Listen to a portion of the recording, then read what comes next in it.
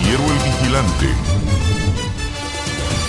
Última hora, en este momento, noticias de desarrollo. Nuestro reportero Carlos Pérez nos amplía la información.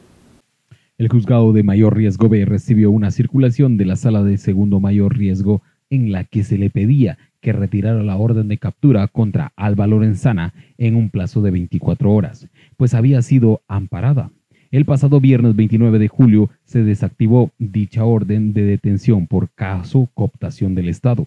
La sala de segundo mayor riesgo envió el pasado jueves 28 de julio un oficio de Miguel Ángel Galvez, juez de mayor riesgo B, en el que ordenaba que debe suspenderse la orden de detención que autorizó contra Alba Elvira Lorenzana Cardona, esposa de Ángel González, prófugo de la justicia del 2016 por vinculación al caso cooptación del Estado.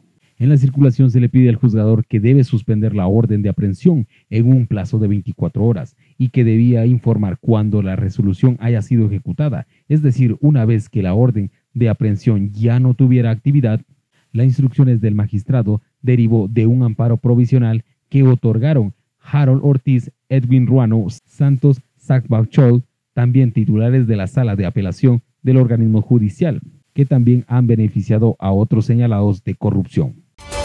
Noticiero El Vigilante.